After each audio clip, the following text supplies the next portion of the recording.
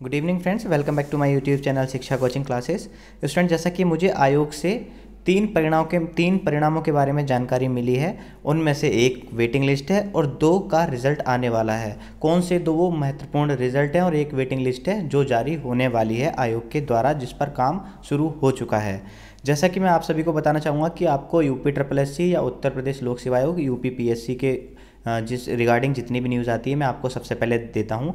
और इससे पहले मैं आपको बता दूँ कि यूपी ट्रिपल एस का, जैसे कि यूपी पी का पीसीएस का जो परीक्षा कैलेंडर है, जारी कर दिया गया है अभी एक दो घंटे पहले। आप देख देख भी लिया होगा पीसीएस के जो छात्र होंगे।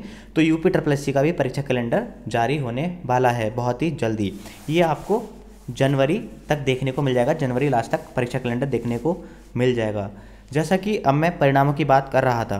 तो देखिए दो परिणाम है और एक वेटिंग लिस्ट है जिसके बारे में मुझे जानकारी मिली है। तो देखिए, ये परिणाम है आपका स्टेनो 2016 और ड्राइवर का रिज़ल्ट 2016 ये दो रिज़ल्ट की पक्की जानकारी मिल चुकी है। ये दो रिज़ल्ट आपके अब जारी होने वाले हैं। साथ ही में वेटिंग लिस्ट वीडियो 2016 के छात्रों की जो वेटिंग लिस्ट है, इसके ऊपर काम शुरू हो गया है। ये बिल्कुल कंफर्म कर लिया गया है। आपके आयोग से।